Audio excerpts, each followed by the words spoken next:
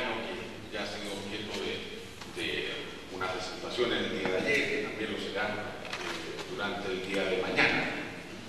Fue realizando esta investigación sobre la Eneida que empecé a encontrar una serie de referencias que me indicaban de que en los siglos XII y XIII el tema de la historia de la destrucción de Troya había vuelto a tener eh, o a acaparar la atención de historiadores literarios que habían recreado la totalidad de este tema. Y dentro, entendido dentro de la historia de la destrucción de Troya, la historia de Eneas, su salida desde la ciudad destruida luego de la guerra contra los griegos, su viaje y posterior instalación en Italia. Y efectivamente, en el siglo XII eh, se escriben una serie de, obras que tienen la característica, varias de ellas, de ser romances, escritas ya en lenguas distintas al latín, principalmente francés, y que eh, toman esta historia. Las, las, obras que yo voy a tener en, en vista para esta exposición es el romance de Eneas, el Román de Eneas, un romance anónimo de mediados del siglo XII, lo cual el autor siguiendo sobre la base de eh, la Eneida, más memoria que se tiene sobre este tema y su propia creación, reconstruye lo que es el viaje de Eneas, su paso por África, la instalación en eh, las tierras de Italia. También tendré en cuenta de una manera muy especial, quizás el poema que ha, o el texto que ha tenido una mayor importancia general dentro de esto, que se llama El romance de Troya, o el Roman de Troya. Escrito ya por, un autor conocido, Benoit de Saint-Mer, a mediados del siglo XII, y es una obra monumental, un poema histórico, este es un punto que va a ser bien importante de, de tener en cuenta, 33.136 versos, por lo tanto un poema de una gran extensión, en lo cual narra toda esta eh, tema que he señalado. Estas, estas obras, tanto el romance de Enea como el romance de Troya, van a tener en el siglo XIII eh, eh, van a, posibilitar que en el siglo XIII se escriban y publiquen otras obras basadas en ellas. Eh, Heinrich von Felder, que escribe también un Eneas, que, toma, que tiene como base el Eneas anónimo del siglo XII. Y aparecen dos obras siglo XIII muy importantes que son derivadas del romance de Troya. Una es la historia de la destrucción de Troya, escrita por Guido de Colonne,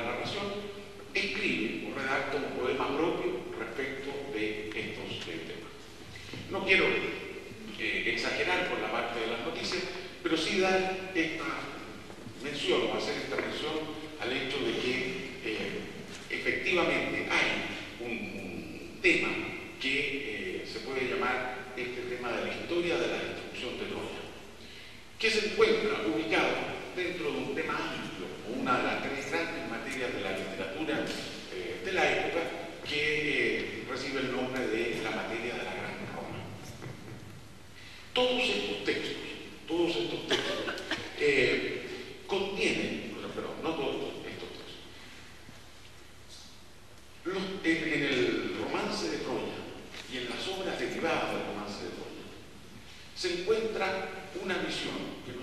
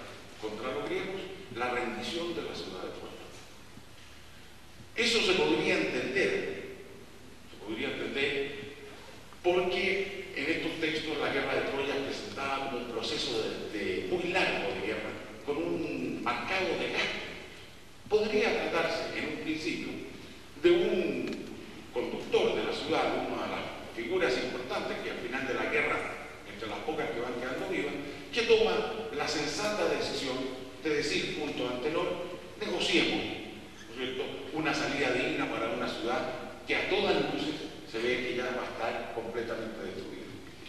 Si esa podría ser una posibilidad, hay que descartarla por los términos en los cuales en estos textos Eneas aparece junto a Antenor realizando la negociación.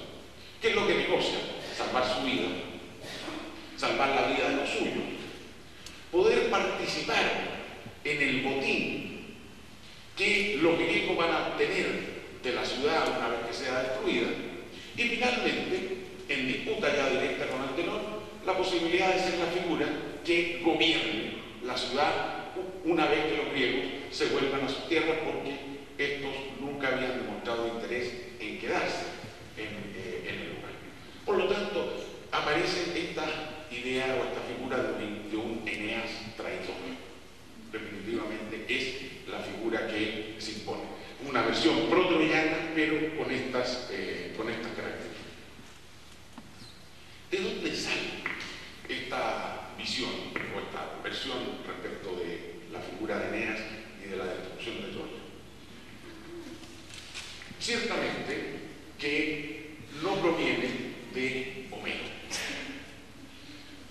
Homero es, hacia el siglo XII, una figura eh, desconocida, desconocida, al menos, digamos, a estos niveles, siendo este nivel ciertamente de los autores de estos textos un nivel eh, instruido. Eh, es una figura desconocida. Hay, y como lo vamos a ver en las referencias, hay menciones homéricas, pero no son menciones directas que se hagan sobre los textos homéricos, los poemas homéricos, sino más bien sobre resúmenes que en distintos momentos habían hecho de la obra de Homero y que circulaban y llegaron hasta estos autores. Nosotros conocemos uno de ellos, la llamada Ilias Latina, eh, que eh, resume estas obras y podemos darnos, imaginar qué tipo de textos eran los que utilizaban. Homero aparece en, estos textos medievales, esto es, es el Benoit de San Mer, o sea, la historia romance de Troya, donde se dice que Homero era un clérigo de extraordinario talento y sabiduría, como hemos leído, ha escrito sobre la destrucción de Troya, que una vez abandonada no fue nunca más repoblada. Sin embargo, su libro no ha dicho la verdad. Leía. No ha dicho la verdad. En efecto, nosotros sabemos perfectamente que él nació más de 100 años después de la época en que la expedición fue alistada. Nada de sorprendente entonces que se equivoque, pues no asistió al hecho del cual no fue protagonista. Guido de Colombe, heredero, como he dicho, de San Ben, es mucho más eh, tajante en sus afirmaciones.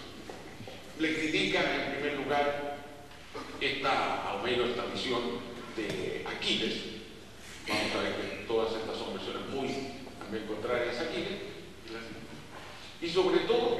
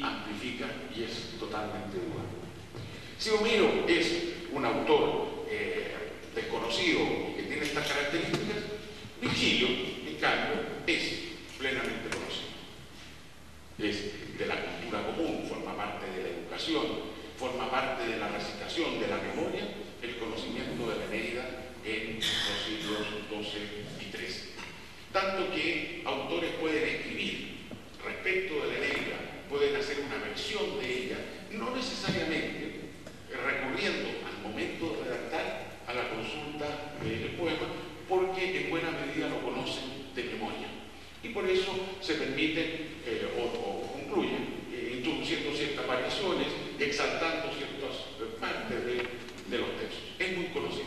Sin embargo, hasta el siglo XII y XIII, eh, Virgilio es revisado de manera cuidadosa, mantenido en una cierta distancia, por el hecho de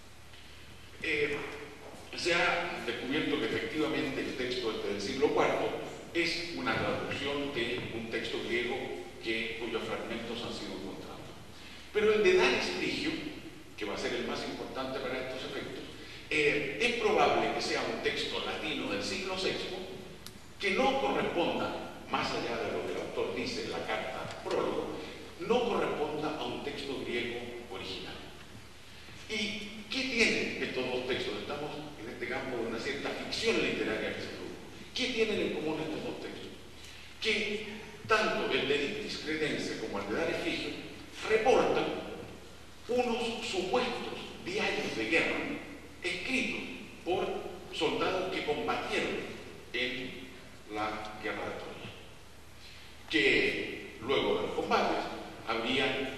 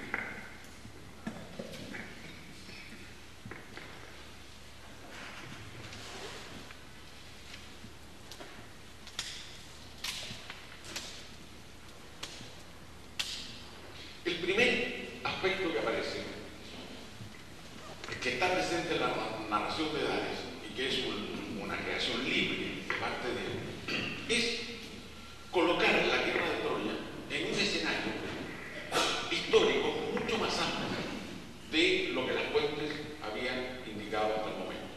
Vale decir,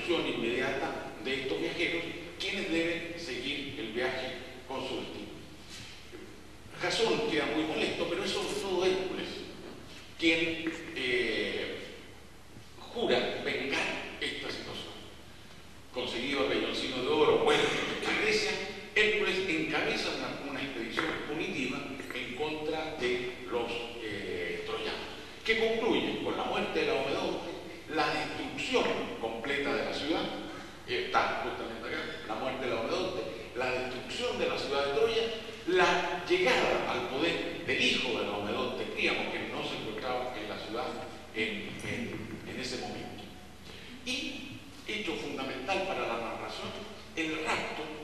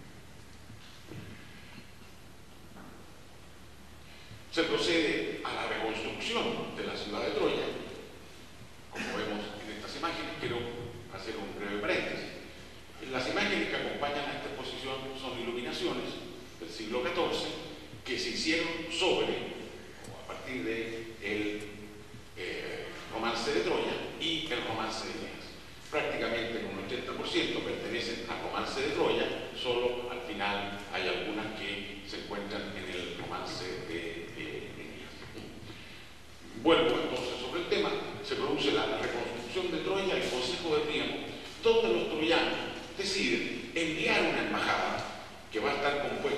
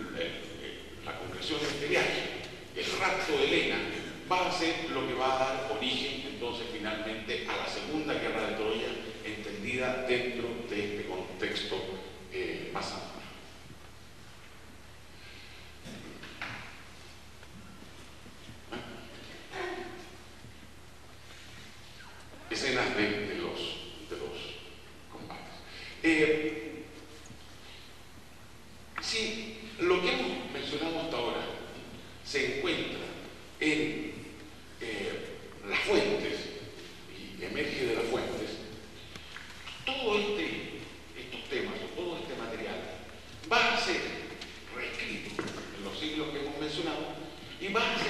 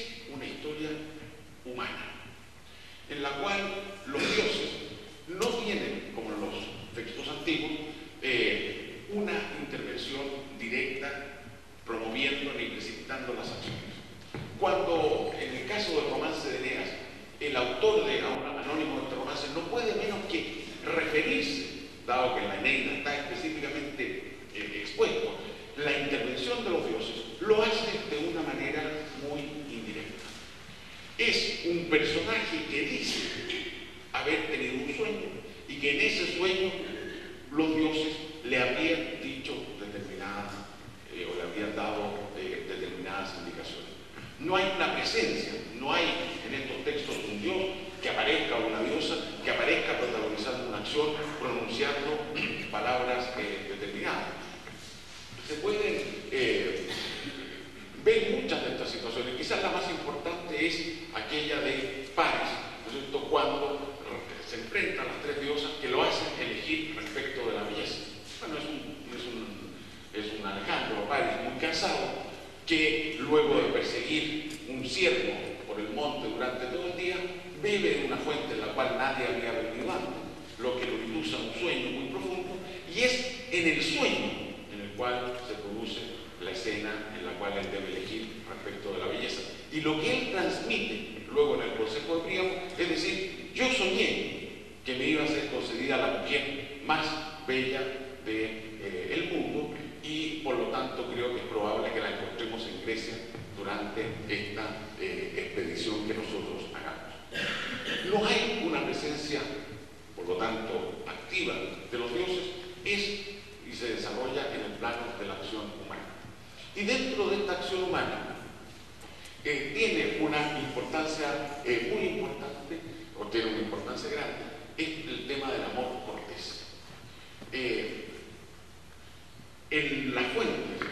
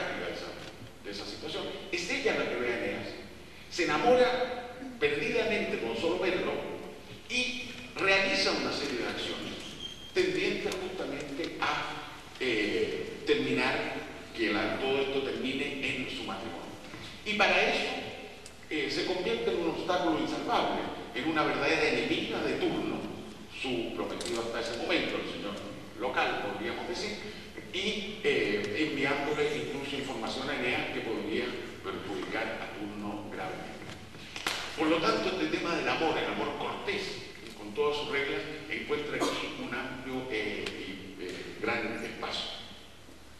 Finalmente quiero referirme a un elemento y es la visión tanto en la fuente como en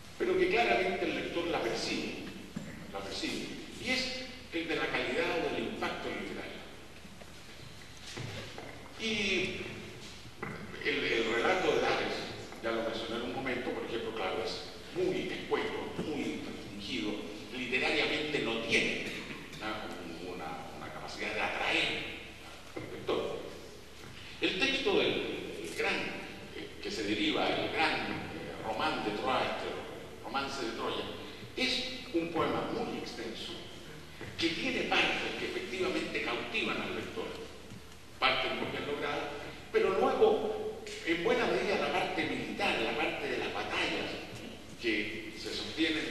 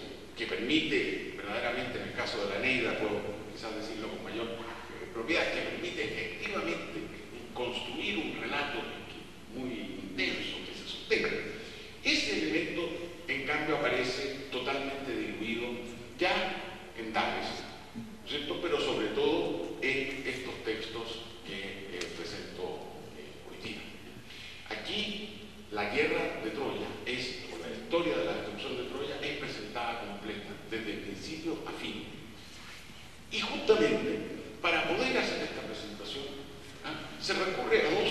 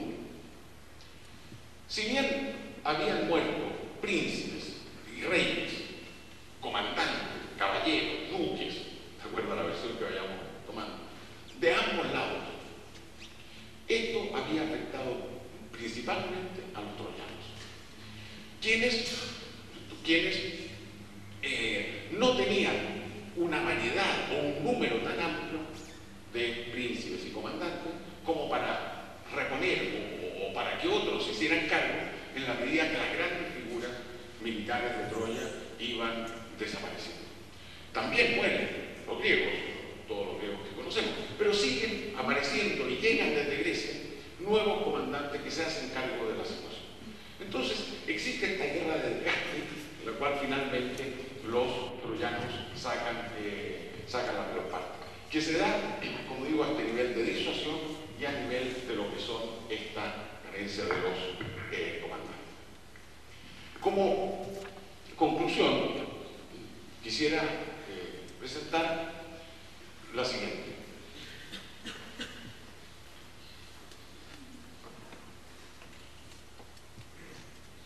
una continuidad respecto de la visión de la historia de Troya.